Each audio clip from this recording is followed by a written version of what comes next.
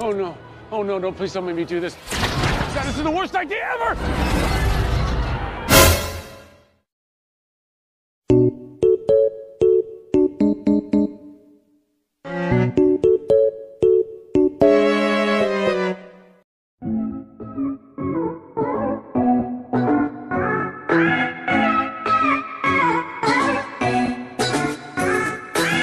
Halo semua, nama gue Trisna dan selamat datang di Nan Films Indonesia di mana gue akan merangkum sebuah film, baik film dalam negeri maupun luar negeri. Gimana kap sekalian? Semoga fine-fine aja. Semua aman kan kuota wifi, tugas online yang ada di Google Classroom dengan tugas yang gak ngotak dikira murid atau mahasiswanya mampu ngerjain tugas itu apa? Anjib!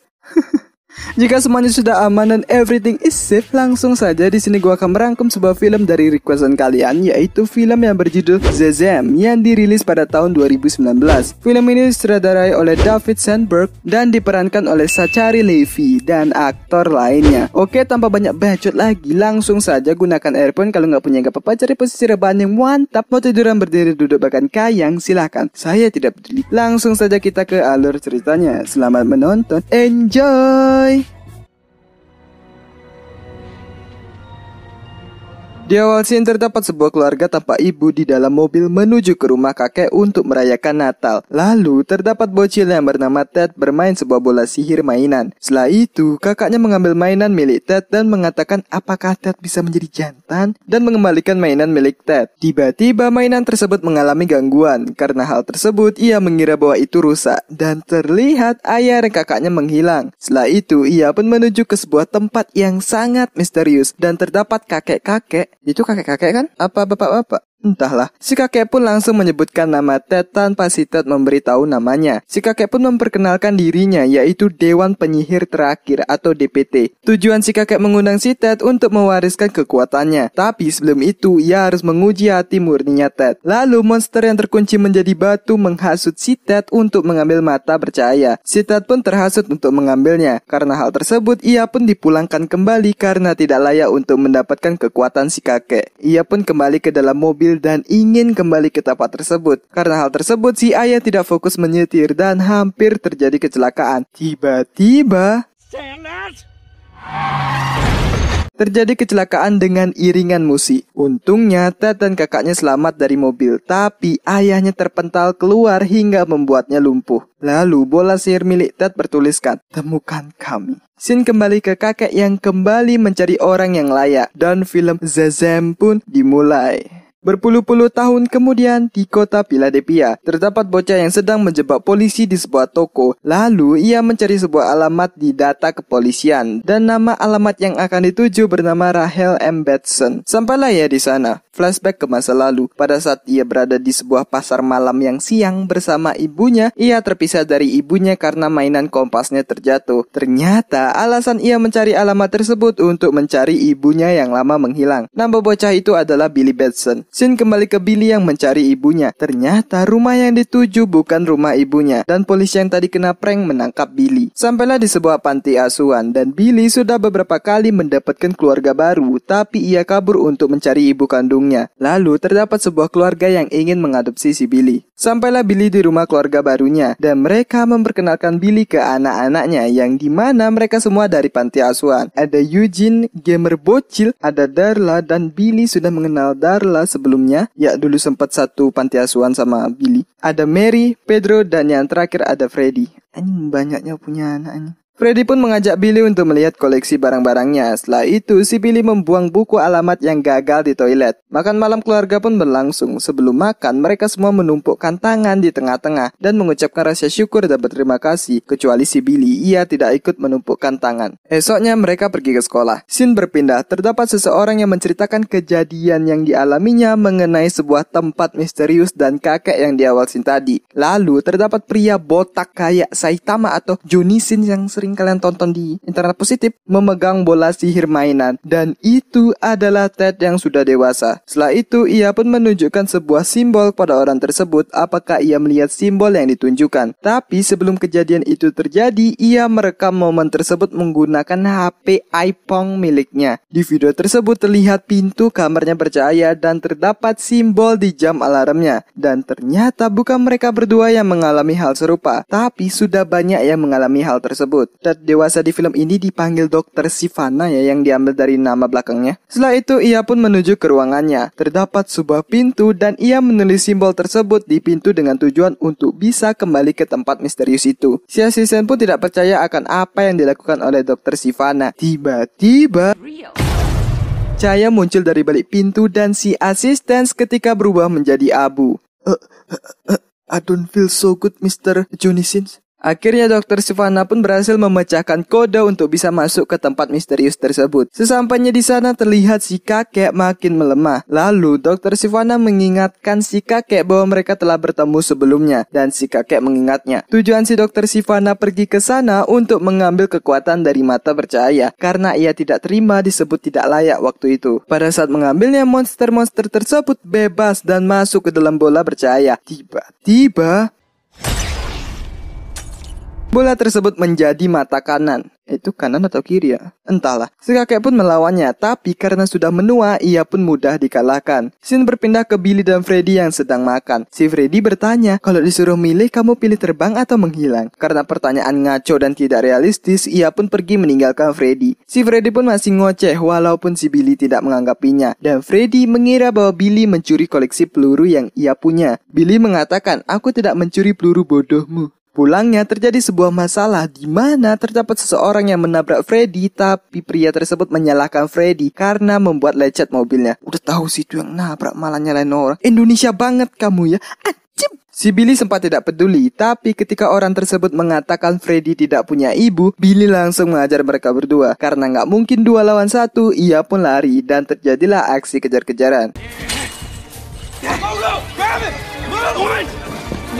Untungnya ia berhasil kabur dari mereka. Pada saat di dalam kereta terjadi sebuah kejadian yang sama seperti simbol yang tidak jelas dan orang-orang di sekitar menghilang. Kereta berhenti dan Billy menuju ke tempat misterius tersebut. Seperti biasa si kakek menyebut nama Billy tanpa Billy memberitahunya terlebih dahulu. Dan si Billy mengira bahwa kakek tersebut adalah seorang gelandangan. Si kakek pun kesal dan menunjukkan apa sebenarnya tempat tersebut dengan menggunakan sihirnya. Dan menceritakan bahwa dulu ia memilih seorang jawara tapi jawara tersebut menggunakan kekuatannya untuk balas dendam dengan cara melepaskan tujuh monster. Jutaan nyawa hilang bahkan peradaban terhapus. Oleh karena itu, si kakek harus benar-benar mencari orang yang layak. Si Billy mengatakan bahwa ia tidak layak untuk mendapatkan kekuatan si kakek. Tapi karena tidak ada yang lain dan yakin bahwa Billy menggunakan kekuatannya dengan baik, ia pun akan mentransfer kekuatannya kepada Billy dengan cara memegang tongkat sakti dan menyebutkan nama si kakek yaitu Zazem. Tiba-tiba petir menyambar dan Billy berubah menjadi menjadi pria dewasa dengan menggunakan pakaian yang ada lambang petirnya. Dan kakek seketika berubah menjadi abu. Melihat hal tersebut, ia pun panik dan bingung apa yang harus dilakukan. Tiba-tiba ia kembali menuju di sebuah kereta dengan keadaan yang masih menjadi zezem. Karena si Billy menghilang, kedua orang tuanya pun mencari Billy dengan melapor ke polisi. Pada saat Pedro membuang nilai buruknya ke tong sampah, ia menemukan buku yang waktu itu Billy membuangnya. Pada saat Freddy mencuci piring, ia dikejutkan dengan kehadiran sosok Zezem yang mana itu Billy dan meyakinkan Freddy bahwa itu Billy.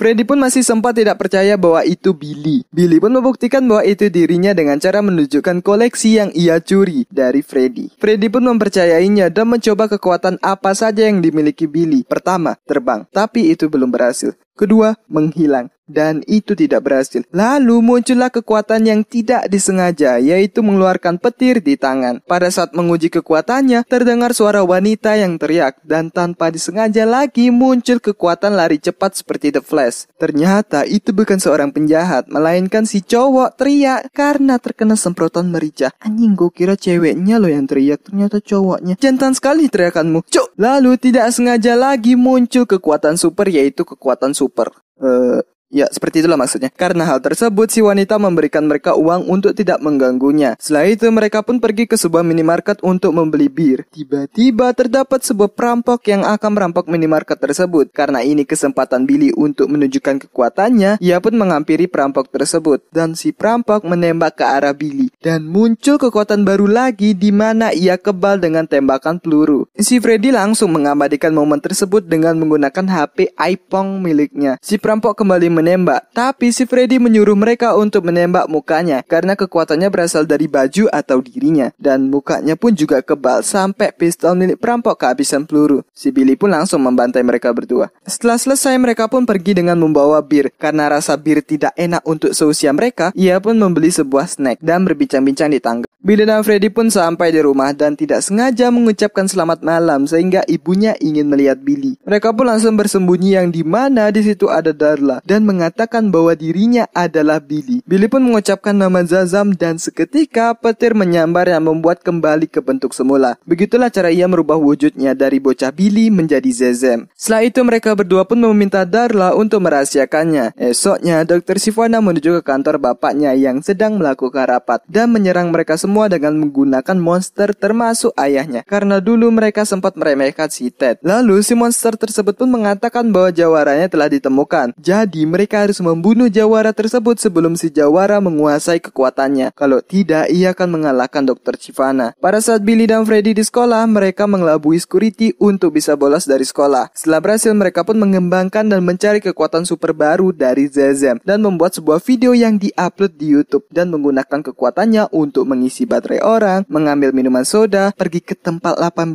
plus, bahkan mengambil uang di ATM tanpa menggunakan kartu. Anjing enak juga punya kekuatan kayak gitu ya. Membeli peralatan game dan berbagai macam elektronik. Karena mereka butuh markas, mereka pun ingin membeli sebuah markas. Pada saat di sekolah, video tentang Zazam sudah viral di sekolah. Lalu terdapat orang yang waktu itu menabrak Freddy dan membuli dirinya. Freddy pun mengatakan bahwa jangan mengganggunya lagi karena ia memiliki sahabat dengan kekuatan super yang lagi viral. Karena tidak percaya, ia harus membuktikannya. Dan Freddy akan membuktikannya besok siang ketika jam istirahat. Si Billy pun sempat tidak setuju dengan Freddy untuk melakukan itu. Makan malam pun berlangsung dan pada saat makan mereka semua membicarakan tentang superhero yang lagi viral dan menanyakan pendapat masing-masing mengenai superhero itu. Dan terjadilah adu pendapat dari Billy dengan Freddy sehingga Billy pergi dari sana. Pada saat akan bersekolah, si Billy bolos dan tidak mengajak Freddy ikut dengannya. Pada saat berjalan-jalan dan berfoto dengan penggemar, terdapat Mary yang tidak fokus menyeberang dan hampir tertabrak truk. Untungnya si Billy berhasil menyelamatkannya. Alasan si Mary tidak fokus karena ia diterima di sebuah universitas yang jauh dari keluarganya. Hal tersebut membuatnya sedih karena ia tidak bisa jauh dari keluarganya. Si Billy menyarankan Mary untuk jangan memperdulikan orang lain. Pikirkan saja dirimu sendiri. Saran macam apa itu? Anjim! Jadi mementingkan diri sendiri aja. Scene berpindah terlihat Freddy yang akan membuktikan perkataannya pada saat jam istirahat. Tapi Billy tidak datang dan mereka akan memukul Freddy. Ini kasiannya aku sama Freddy ini cuy. Kembali ke Billy yang melakukan sebuah pertunjukan kekuatan supernya. Lalu datang Freddy untuk memberitahu Billy karena tidak datang waktu istirahat. Terjadilah adu mulut di sana dan Billy mengeluarkan petir di tangannya sehingga petir tersebut mengenai sebuah ban bis. Karena hal tersebut terjadilah sebuah kecelakaan. Melihat hal itu, Billy pun langsung pergi ke sana dengan kecepatan supernya. Ia pun bingung dan tidak tahu gimana cara menyelamatkannya dan ia menggunakan kasur bekas di sana. Eh, uh, what the fuck? Bis terjatuh dan Billy berhasil menahan bis tersebut menggunakan kedua tangannya.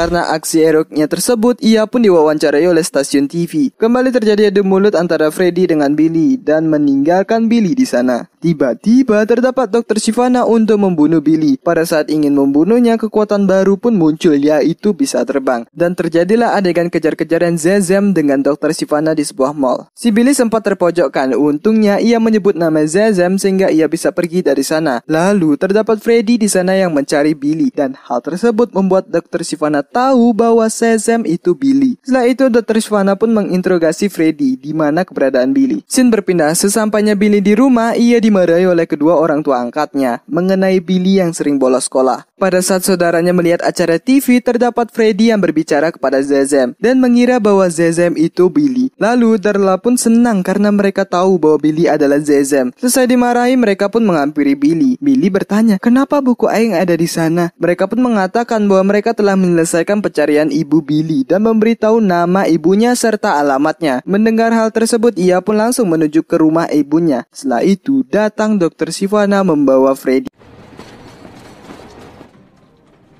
Singkat cerita, Freddy pun sampai di rumah ibunya, lebih tepatnya apartemen ibunya. Pada saat bertemu dengan ibunya, ia menunjukkan kompas untuk mengingat siapa dirinya. Ibunya pun mengingat Billy dan mengatakan bahwa ia memang sengaja meninggalkan Billy di pasar malam yang siang karena waktu itu ibunya berumur 17 tahun. Anjing mama muda plus janda muda. Ia merasa tidak layak untuk membesarkan Billy. Ditambah ia diusir oleh ayahnya dan ayahnya Billy tidak mau bertanggung jawab. Mendengar hal tersebut, ia pun menyadari bahwa ia sekarang sudah memiliki keluarga yang sangat sayang dengannya dan memberikan kompas tersebut kepada ibunya. Lalu terdapat telepon masuk dari Freddy, tapi yang berbicara adalah dokter Sivana. Mendengar hal tersebut, ia pun langsung menuju ke rumah. Sampailah ia di rumah dan saudaranya disandra oleh monster Silvana. Karena tidak ada pilihan lain, ia pun menuju ke Silvana. Dan Silvana ingin Billy untuk menyerahkan kekuatannya kepada dokter Silvana. Setelah itu dokter Silvana membuat pintu menuju kastil untuk melakukan transfer kekuatan. Saudara-saudaranya pun menyuruh Billy untuk tidak melakukan itu, tapi ia harus melakukannya. Sebelum melakukan transfer kekuatan, semua monster keluar dari tubuh dokter Silvana. Lalu Billy pun mengatakan bahwa monster itu cuma memanfaatkan dokter Silvana saja, tapi ia tidak menganggapinya. Tiba-tiba saudara Billy pun datang untuk menghentikannya. Terlihat kepala botak Johnny Sins atau Saitama berdarah terkena lemparan benda tajam. Artinya dokter Silvana tidak akan kebal jika monster tidak ada di tubuhnya. Pada saat dokter Silvana menghampiri saudara-saudaranya, Billy langsung melempar dokter Silvana. Ketika ingin balik ke rumah, mereka dibuat terkejut karena pintu menuju rumah menghilang. Mau nggak mau, mereka pun mencari pintu tersebut dan terdapat banyak pintu menuju berbagai karena tidak ada gunanya mencari pintu. Mary bertanya bagaimana waktu itu Billy bisa kembali. Billy menjawab waktu itu ia memikirkan sebuah kereta. Lalu Freddy pun menyarankan Billy untuk memikirkan tempat selain di kastil. Dokter Silvana pun datang menghampiri mereka. Untungnya mereka berhasil pergi dari sana dan mereka pergi ke sebuah tempat yang sangat disukai kaum pria. Anjing mikirnya kayak gitu cuy. Kalau aku mungkin mikirin Mia Khalifa terus teleport ke sana. Ah, anjing. Dan Dokter Sivana tahu di mana Billy dan saudaranya teleport. Melihat hal tersebut, mereka pun menuju ke pasar malam yang benar-benar malam agar bisa bersembunyi dari Dokter Sivana. Karena banyak yang mengenalnya menggunakan mode Zezem, ia pun merubah dirinya menjadi Billy bocah. Melihat kilapan petir itu, Dokter Sivana mengetahui di mana keberadaan mereka. Setelah itu, Dokter Sivana mengancam akan melukai orang-orang di sekitar jika Billy tidak menampakkan dirinya. Karena tidak ingin melihat orang di sekitarnya terluka, ia pun menunjukkan dirinya dan melawan Dokter Dr. Silvan.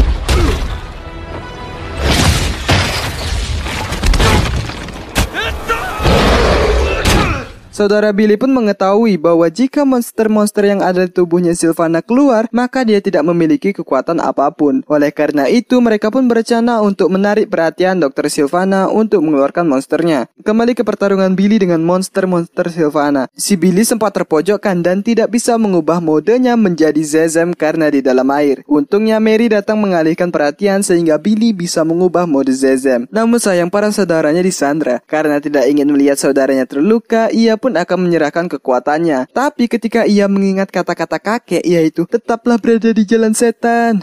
Bukan bukan gitu eh. Bukan gitu eh. Itu SpongeBob ini. Ia pun tidak jadi menyerahkan kekuatannya kepada Silvana dan akan mentransfer kekuatannya kepada saudara-saudaranya. Nama disebutkan dan saudara-saudaranya berubah menjadi Zezem. Ada Zezem hijau, ada Zezem ungu, ada Zezem abu-abu, ada Zezem merah versi cewek dan Zezem biru. Mereka pun mempunyai kekuatan masing-masing. Ada Zezem biru yang kekuatannya terbang, ada Zezem ungu kekuatannya kecepatan super, ada Zezem abu-abu kekuatannya mengeluarkan petir di tangan dan ada Shazam hijau kekuatannya kekuatan super. Ya sebenarnya kekuatan mereka sama sih seperti Billy tapi yang ditampilkan hanya itu doang. Terjadilah pertarungan para Zezem dengan Dr. Silvana dan para monsternya serta menyelamatkan orang-orang di sekitar. Lalu Billy yang bertarung dengan Dr. Silvana menarik perhatian monster yang ada di tubuhnya untuk keluar. Monster pun keluar dari tubuhnya Silvana hingga hampir membuatnya jatuh ke bawah. Terjadilah pertarungan Billy dengan si monster dengan mudahnya monster dikalahkan. Billy pun langsung menyelamatkan Dr. Silvana dan membawanya kembali ke pasar malam untuk mengambil mata percaya di matanya Silvana. Kok jadi Itachi anjing? Monster-monster pun kembali ke dalam mata percaya dan mata percaya berhasil dikeluarkan. Si Billy pun sempat terpengaruh untuk memasukkan bola percaya ke matanya, tapi itu cuma prank. Selamat, Anda kena prank. Kamu berdosa banget. Anjing. Jadi anak DPR anjing. Orang-orang di sana pun bersorak ria melihat pahlawan super yang berhasil. Setelah itu, mata percaya pun diletakkan kembali ke asalnya dan kastil tersebut dijadikan markas untuk para Zezem.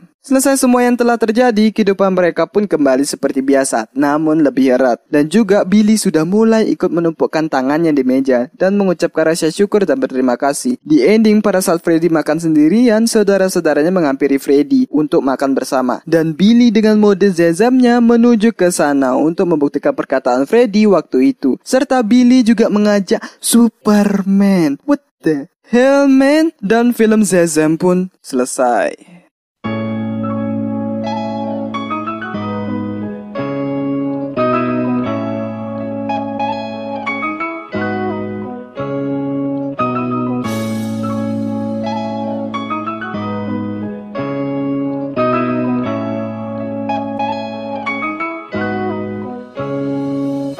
Ya, begitulah alur cerita atau rangkuman dari film Zezem. Filmnya cukup seru dan lumayan menghibur dengan komedi yang disajikan. Oke, mana yang bisa diambil dari film ini? Jika kalian punya keluarga baik itu kandung maupun angkat, jika mereka masih mencintai kalian dengan tulus, tetaplah bersama dengan mereka karena mereka akan membuat hidup kalian bahagia. Anjay ya nih. Quotes of the day anjing. Oke, terima kasih buat kalian yang sudah menonton sampai habis dan kuat dengan candaannya. Jangan lupa untuk klik subscribe dan lonceng di sebelahnya. Klik like sebanyak-banyaknya dan kalian bisa share ke teman-teman kalian. Oke, nama gue Trisna dan gue pamit undur diri. Salam penikmat film. Goodbye.